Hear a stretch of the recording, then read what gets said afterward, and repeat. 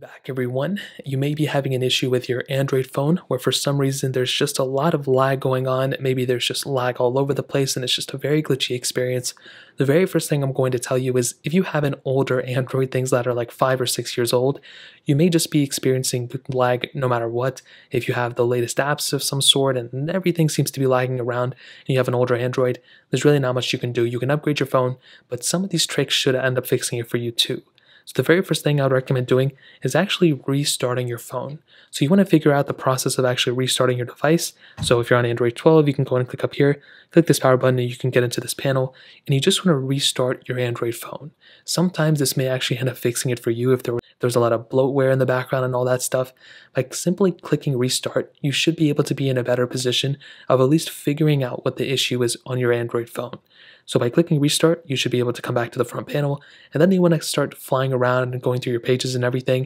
And if everything seems fine, then you should be good to go for the most part. But if some reason everything isn't fine and there's still a lot of lag, the next thing you can do is you can actually make your way over to your settings application like this, and then you want to find out where your app manager is. So for us, it's right here. You can click apps, and then you want to click all apps, which is up here. And you want to start going through all your apps and you want to find out the ones that may be taking up a lot of different, you know, things up in the background. If it's an app that you just downloaded, then you may want to open it up like this and you may want to force stop it. So you can see Fruit Ninja, you may want to click force stop and you may want to force stop that application. So if you have a lot of apps in the background as well, you can swipe out of them like this. But that typically won't do anything super crazy. The best thing you can do is go here. And if it's an app that's really blocking your memory down, there's a lot of apps like Instagram. Sometimes if they're on the background, they can actually go ahead and like, you know, take up some memory here and there. Apps like Messenger, Facebook, those types of applications can actually take up a lot of you know data in the background so you may want to go ahead and force stop some of these apps you don't have to do all of them but some of these apps you may want to force stop and you want to go ahead and see if that actually fixes the problem if that still doesn't fix the problem and you've tried it a couple different times and nothing's still working well, the next thing you can do is try updating your Android phone.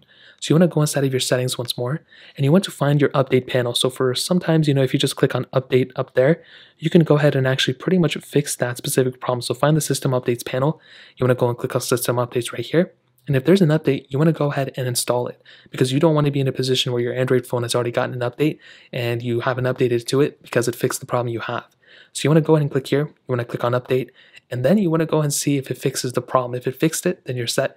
If it still didn't fix it and your phone is still glitching up all over the place, you may want to go ahead and either factory reset your phone or you may want to contact your provider of the phone itself and you may want to see if they can fix it for you. So that's pretty much it. If you guys have any other questions or anything, let me know in the comment section below. Hit the like button, that me so much, but definitely hit that subscribe button. More importantly than everything else, I love every single one of you guys. Hopefully I'll catch you guys in the next video. Peace out till then.